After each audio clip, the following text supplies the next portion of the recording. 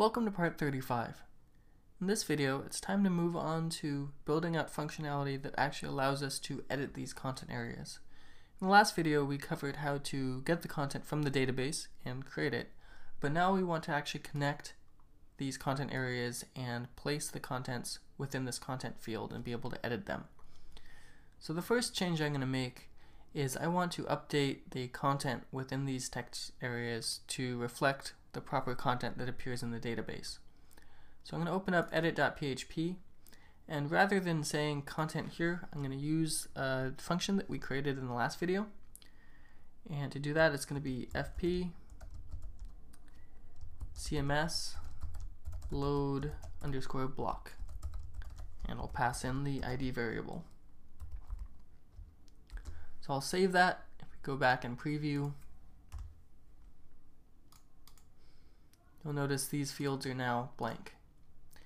And uh, just to test it slightly more thoroughly, if you open up uh, Firefox and take a look at phpMyAdmin, I'm going to update one of the fields. Um, say I'll update the header field. I'm going to add some test content in and I go back to Coda. Let me refresh the page and make sure this shows up properly. So you'll notice this does now show up in the content block.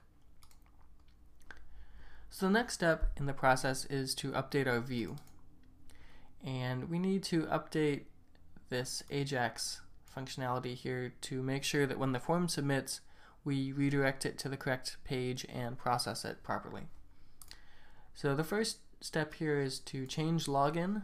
Um, we need to change it to edit instead because that's the ID of our form. And we need to make some changes to the variables here that we are pulling from this form. And the first thing I'm going to do is I'm going to add a var ID. And within that, I'm going to include some PHP and I'm going to echo out this, get data, excuse me, uh, parentheses there, and we want to display the block ID.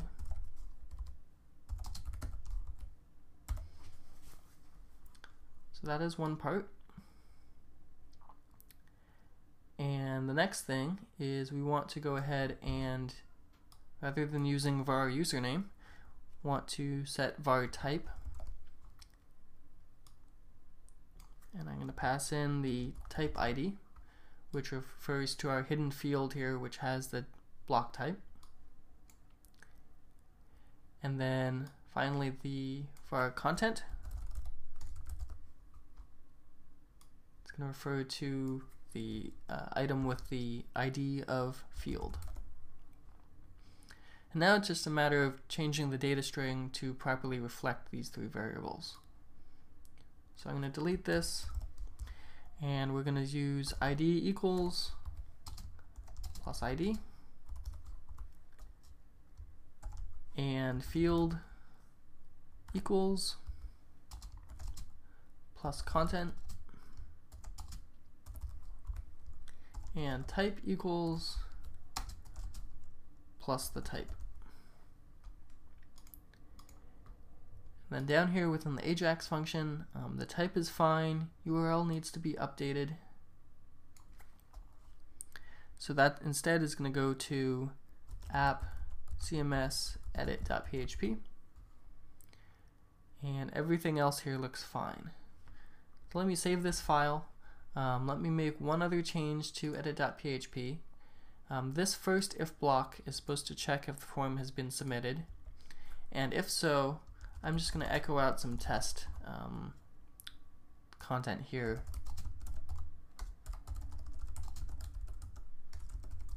Just so we can test this. So let's go back to test. I'm going to refresh the page. Open up one of these fields. And our color box isn't opening. So let me just double check things.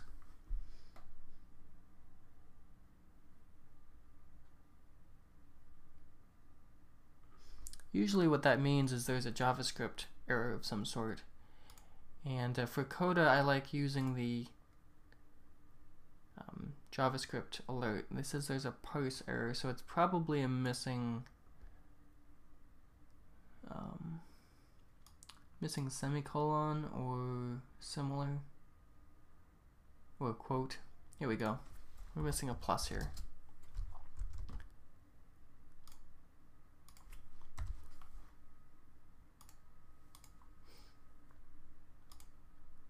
That's much better. So we have this popping up properly. Let's hit submit and we do get the form submitted successfully message. So now it's going to be a matter of editing this area here to properly process this form. The first step in doing that is to get the data. So I'm going to create a temporary ID variable and I'm going to get the ID, the post ID, but first I'm going to clean it. So fp cms clean block ID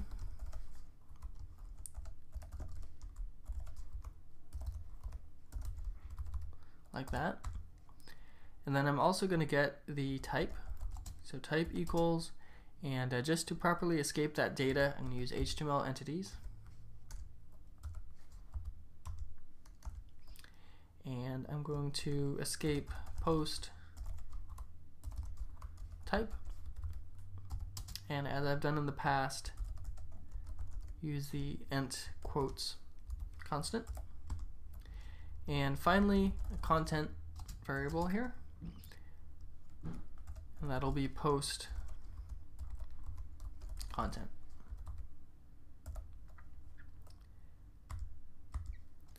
And then the next thing, we're going to use a function that we haven't created yet, but I will in a minute. So fp cms, I'm going to use an update block function. And I'm going to pass in the ID and the content.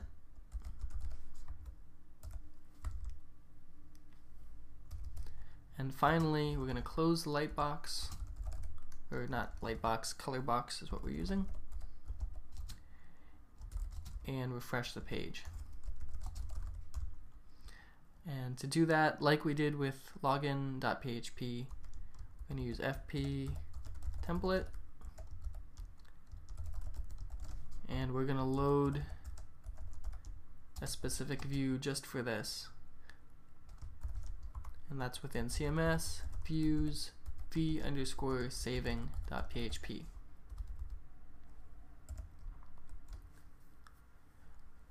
So um, I guess the next thing I want to do is I'll focus on the update block function and then we'll create the v underscore saving.php view as the last thing we do in this video. So the update block function will go within our CMS object and I'll put it down here at the bottom.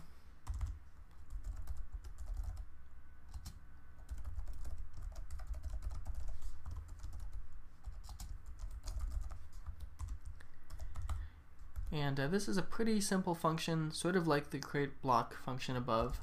So we're going to be using prepared statements again. So stmt equals this, fp access the database object, and we'll prepare our statement. And we're going to be using update content. And we'll be setting content equals question mark where id equals question mark and we want to bind the parameters within that SQL statement so use the bind param function and both of these variables are strings so we'll use two s's a comma, and then we'll pass in content and ID. And then we'll execute this statement.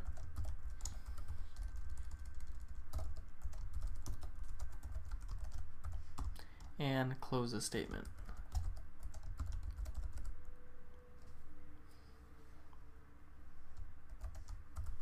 Like so. And um, let me go back to my edit.php. So that takes care of this line. And the last change that I want to do is create the v underscore saving.php and that'll exist within views.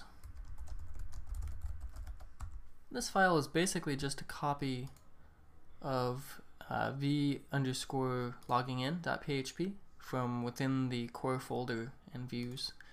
So I'm going to copy this code and I'm going to paste it in place. And we just need to make a couple changes. Um, let's go ahead and we need the resize, we need the close. We want to remove uh, these two lines. And rather than using window.location equals page, because the page location, no, page variable no longer exists, I'm going to do window.location.reload. That'll take care of the page refresh. And in case I haven't mentioned it already, um, the page refresh is important because we want to make sure that any edits to our content show up within the page. Without the page reload, it's quite possible that the database would be updated, but those changes wouldn't show in place on the page and it might confuse users. So the last change here that I need to make is I want to go ahead and change the header, um, make that edit content block,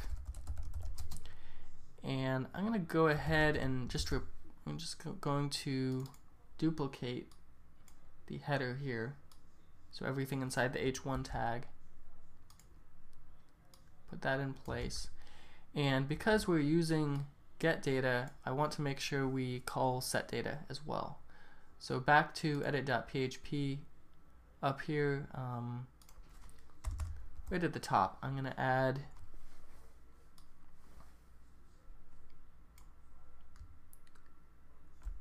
this.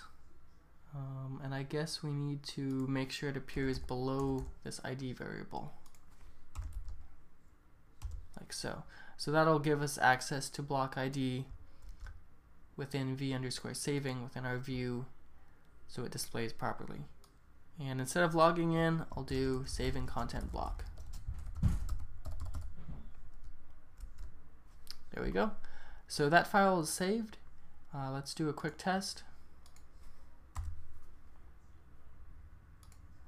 Just close this, excuse me.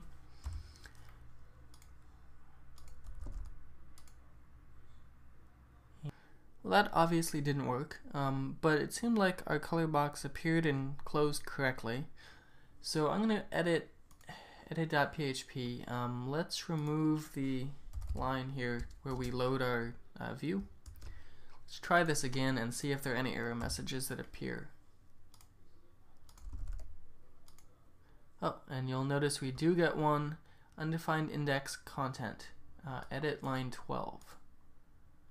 Let's take a quick glance at this. Um, we're looking for post content and let's check our view.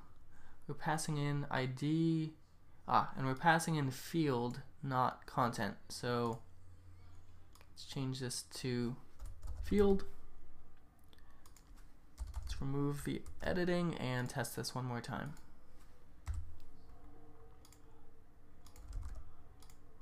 Much better. So now content is being saved. Um, and you'll notice it's being updated. It updates existing blocks as well.